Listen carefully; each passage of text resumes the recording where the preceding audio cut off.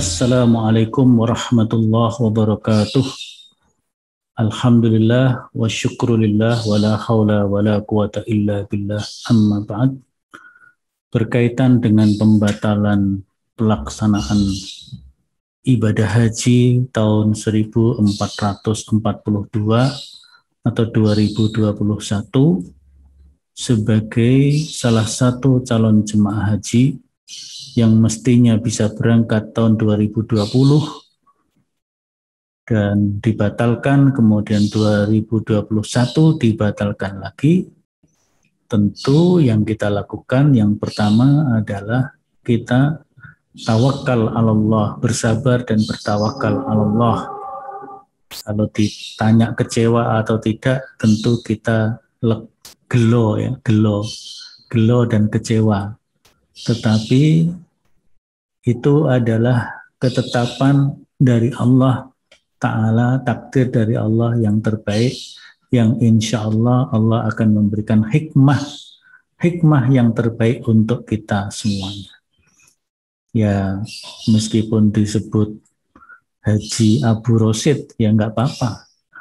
Haji Arbudal Rasido Rapopo. Nah, yang penting kita tawakal Allah, bersabar, memohon kepada Allah agar di balik semuanya ini diberikan hikmah yang terbaik. Insya Allah pada saatnya Allah akan memanggil kita bertemu dengan Baitullah, Baitullah di kota Mekah dan juga Masjid Nabawi di kota Madinah dan tempat-tempat penting lainnya di dalam pelaksanaan pelaksanaan ibadah haji baik itu arminanya dan sebagainya dan sebagainya. Semoga Allah memberikan pertolongan, hidayah dan maunah kepada kita dan kesabaran yang kita lakukan, tawak ketawakalan yang kita lakukan mendapatkan nilai yang terbaik di hadapan Allah baik untuk kehidupan kita di dunia ini maupun di akhirat nanti.